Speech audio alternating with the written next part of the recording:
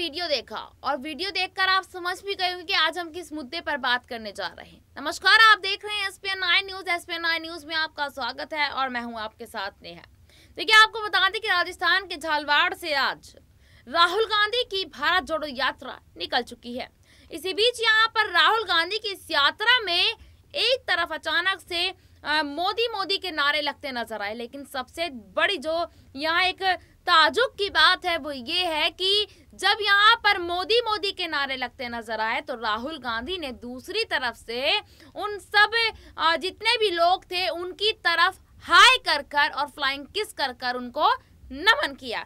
ये यहाँ पर देखा जा रहा है कि राहुल गांधी ने ये साबित कर दिया कि चाहे आप यहाँ मोदी जिंदाबाद या मोदी मोदी के नारे या भाजपा जिंदाबाद के नारे लगाएँ लेकिन राहुल गांधी की ये यात्रा पर कोई फ़र्क नहीं पड़ने वाला।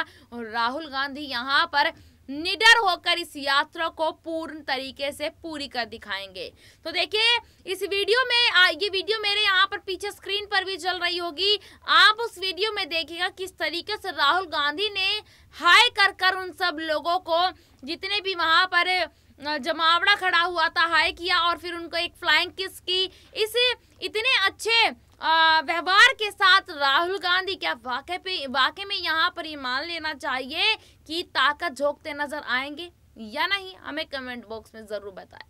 फिर आपसे मुलाकात होगी किसी दूसरे मुद्दे पर, तब तक के लिए देखते रहिएगा एस पी न्यूज़ धन्यवाद।